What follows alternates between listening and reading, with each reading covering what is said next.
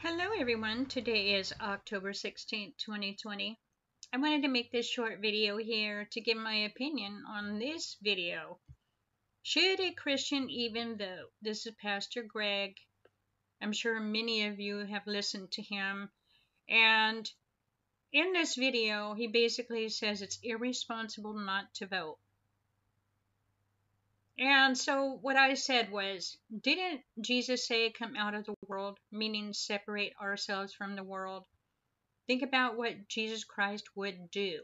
We are to work hard day by day to be more like Jesus Christ. My vote is for Jesus. And somebody just said four minutes ago, cringe. In other words, cringe to my comment. Two people liked my comment. But as you can see, a lot of pastors and a lot of people are trying to turn our eyes off Jesus Christ. And the Bible is an example.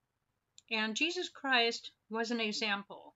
He came to the earth to be an example and to die for our sins so that we could be saved.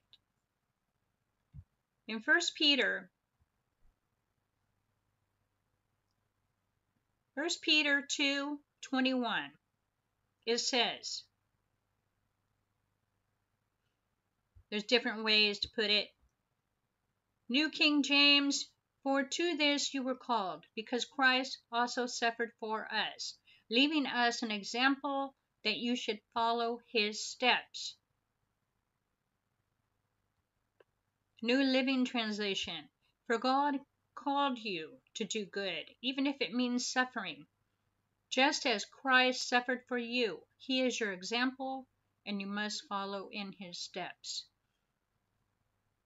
There's different ways to say it here, but basically, Jesus came, he suffered for us, he died on the cross for our sins, and we are to follow in his steps. So, would Jesus Christ vote if he was here today on the earth? In my opinion, he wouldn't.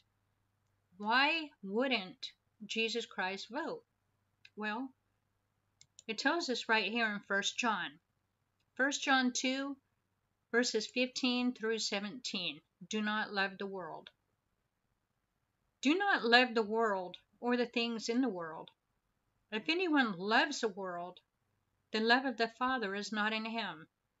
For all that is in the world, the desires of the flesh, and the desires of the eyes, and pride of life, pride of life, voting, being in the world, going out and enjoying yourself, that kind of stuff. The pride of life is not from the Father, but is from the world. And the world is passing away along with its desires. But whoever does the will of God abides forever. So, right here, it explains that we, as Christians, if we love God, we are not to be of the world. We are to separate ourselves from the world. Why? Because Satan works hard every single day to take our eyes off Jesus Christ and what he did for us.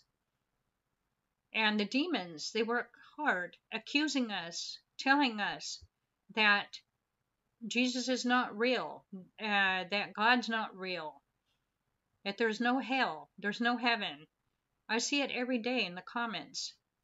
And, you know, I still think, in my opinion, that if Christ was living on the earth today, walking the earth, I mean, if he was walking the earth today, and they told him that he has to vote, I think that he would say, No, I'm not voting. My eye is on God. I am not of this world because it's passing away. That's what I believe he would say. In Colossians chapter 2 verse 8 it says right here, see to it that no one takes you captive by philosophy and empty deceit according to human tradition. Voting for President Trump is human tradition. other things that you see going on out there is human tradition. According to the elemental spirits of the world and not according to Christ. So they are working very hard every day to try and take our eyes off Jesus Christ and what he did for us. And they're doing a good job because they are brainwashing people, telling people that you need to vote. You have to because the Democrats are going to take over our country if you do not vote. You know, like he said, like it says in the Bible, the earth is passing away. It's passing away. A new world order is going to come into play no matter what. God's will is going to be done no matter what. It is all foretold in the Bible. Jesus Christ suffered and he won. He rose again on the third day, just like he said he would. And those who believe in Christ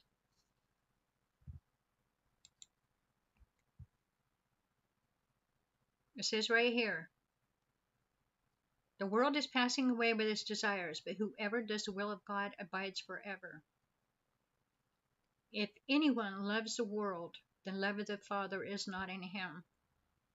So if you love the world, if you love human tradition, the love of the Father is not in you because you are believing the deceit, you are believing the lies, you are believing Congress and and every, everything else, President Trump, and all of them who say that you have to vote, that you have to, because if you don't, the Democrats will take over.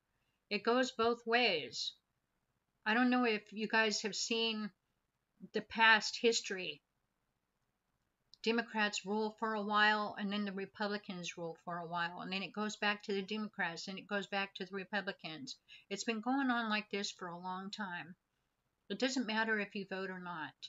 It's already rehearsed. It's already going to be the way they want it to be. Not the way we want it to be, but they're doing a good job acting and brainwashing people I vote for Jesus Christ. I do not vote for human tradition.